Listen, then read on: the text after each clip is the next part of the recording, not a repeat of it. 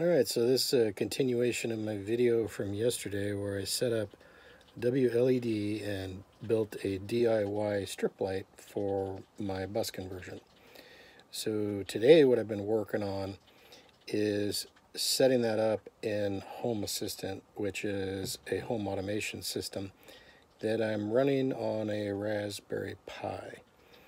Uh, it's free software. Um, I am not going to go into how to set it up because that is uh, there's there's plenty of other YouTube videos and information online about how to do that.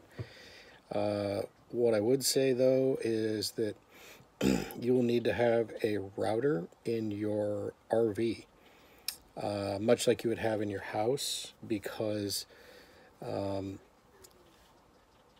you have to have a wireless network inside your bus or motorhome that uh, all the Wi-Fi de devices can talk to and connect to to talk inside your network. Um, I'm using a Alfa Camp Pro. The reason that I'm using that is because our bus is metal and campground Wi-Fi will not penetrate our bus properly and um, I have a large antenna on the roof it picks up the Wi-Fi from wherever we're at and repeats it inside the bus. Um, that's very much like you would have at home where you plug in your your router to your cable modem or something like that. The only difference is that the side where you would have your cable modem or whatever is hooked to an antenna essentially that I can configure and, and, use. There's lots of products available that will do that for motorhomes and RVs. Um, I'm not super happy with the Camp Pro that I'm using. Um, it was about 150 bucks or something like that on Amazon. I'm not going to give it a, a recommendation though, and I'm going to probably end up replacing that with something better. Um, anyways, um, you have to be comfortable with networking and things like that in order to get this stuff working because I probably spent about, you know, three hours on it today just messing around. Uh, I'll go ahead and show you what I got so far. So, uh, this is Home Assistant and it's running on my computer. And, you know, I've added one device here, which is the WLED on the couch and I can turn this on and off with my web browser. And it's off. There's actually um, quite a bit of information here. Like I'm noticing that this thing tells me how many amps it's using or milliamps. Um, if I crank this up to full brightness um, it's using 3000 milliamps basically which um, you know, I'm going to just go ahead and do that here.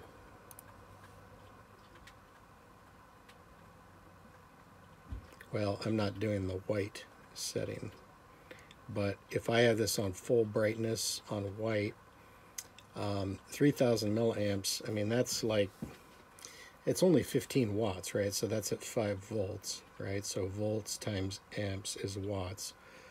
Um, milliamps is you know, 1,000. Uh, you know, it's a factor of 1,000. So this is 2.1 amps at 5 volts right now. Well, the little buck converter that I bought and showed in yesterday's video has got a max of 3 amps. Um, WLED has got a configuration that's kind of cool where, you know, you can tell it what um, the maximum amp draw is that you want it to do and it'll just keep your use underneath that. Now, of course, this number doesn't agree with this one. This is saying, well, let me re refresh this because I think that is not updated on the fly. Error 2152. So I do think that uh, if you're going to do one of these, you're going to want to get uh, a higher amperage uh, buck converter Depends on the length of your strip, but um, I have one that's a little bit bigger that I'm going to use um, in my kitchen because I want to be able to get full brightness out of these LEDs. Um, this software, the WLED software, will limit the current draw based on what you've put in here for, you know, the size of your um, your power supply. Uh, interestingly, or you know, some of you might find this interesting. Like if you shut this off, I just turn the LED off. At rest, it uses uh, 221 milliamps, so not very much power. That's just for the circuitry and whatnot. So that's kind of interesting, right? So if you're concerned about that parasitic drain, you can hook up a power switch ahead of that, which I do have a power switch where I can just shut this off easily.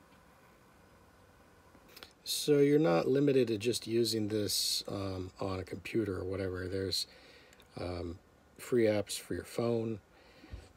There's an app for WLED that you can use. There's an app for Home Assistant. And all this I've set up so that it's also hardwired. So, you know, you don't need to have a phone to control it. There's a push button that you're able to operate the lights with as well. All right, I made another LED strip light today in the kitchen. And it's controlled together with this one wirelessly. On this one, uh, I've got a blue right now, but I got two strips up there for extra brightness. Let me toggle that on. That's full brightness there. Along with this one. With the blue. If I turn that on a bright white, it'd just be like blinding.